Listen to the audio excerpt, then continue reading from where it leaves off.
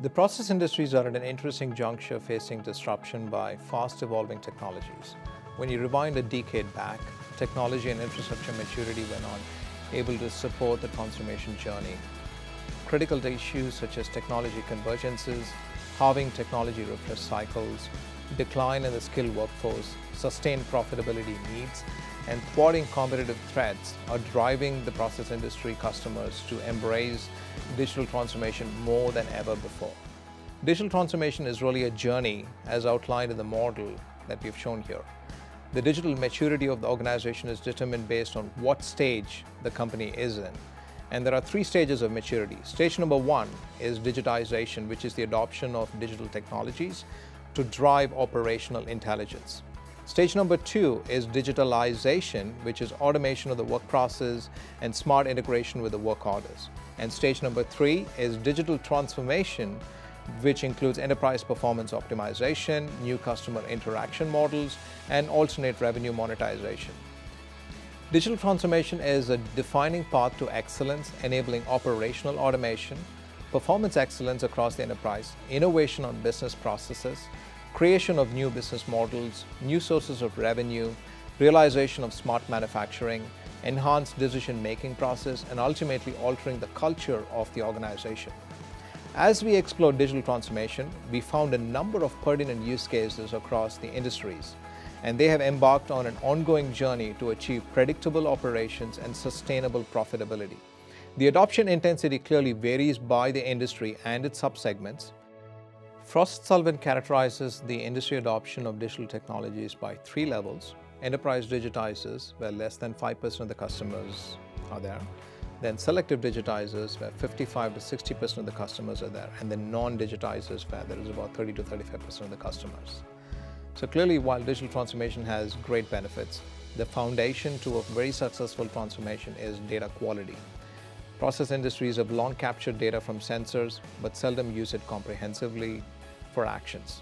Frost & Sullivan finds that less than 5% of the data captured is utilized, and the industry is data rich, but insights poor. It's also very important to note that data quality depends on a multitude of factors such as accuracy, timeliness, reliability, validity, integrity, and consistency. In Yokogawa's opinion, overcoming data quality issues will help the industry shorten the time cycle from data extraction to sustained value creation.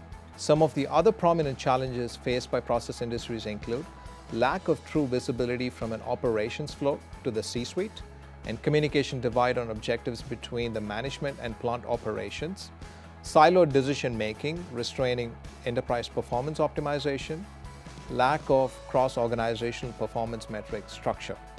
To overcome these aforementioned challenges, the market is awash with solution providers large and small, promising siloed solutions to the process industry customers and aiding a very successful digital journey. But among all these solution providers, very few stand out like Yokogawa. And Yokogawa has established itself as one of the largest independent automation solution providers with rich experience across process industries. Its Transformation 2020 midterm business plan is all about digital transformation built on the foundation of best-in-class automation and digitalization technologies. Its ability to converge the worlds of OT and IT on the foundations of business and domain knowledge is its single biggest differentiator from its peers.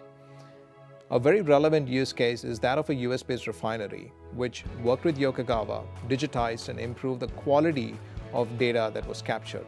Subsequently, it leveraged remote monitoring by consultants for advice on countermeasures when the process parameters went out of normal parameter values. The refinery was thus able to achieve quicker time on resolutions, reduce performance variability, and an annual savings in the range of 13 to 65 million dollars. Regardless of the maturity stage of a company, it is always important to work with an industry leader and a trusted partner who can co-create value and drive lifecycle cost optimization and Yokogawa continues to drive excellence for the process industry.